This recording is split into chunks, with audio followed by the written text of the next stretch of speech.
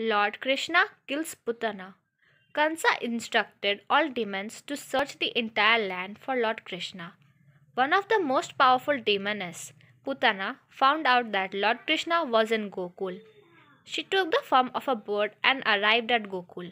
Then she changed into a gopi and visited Lord Krishna's house. I will feed poisonous milk to the eighth son and he will die, she thought. All of Gokul was asleep except Lord Krishna. She took Lord Krishna in her arms and started to feed him poisoned milk.